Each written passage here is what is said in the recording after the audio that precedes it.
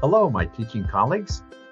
Dave Myers here at the invitation of my Macmillan Learning friends to offer my greetings to you and also to offer a 60 second snapshot of our 13th edition.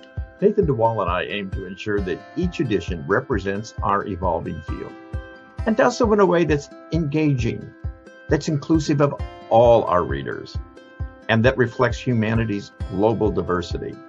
From its first edition, the text is also focused on teaching critical thinking and on helping students understand the research that underlies psychological discoveries.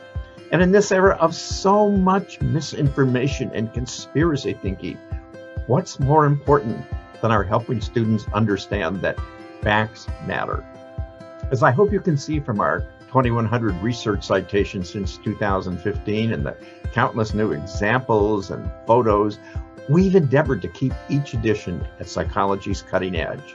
And because the book is used worldwide in many languages, we aim to offer a global perspective on psychology for both our worldwide and our North American readers.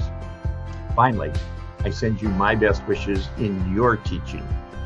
And don't ever hesitate to be in touch with your feedback or suggestions or questions.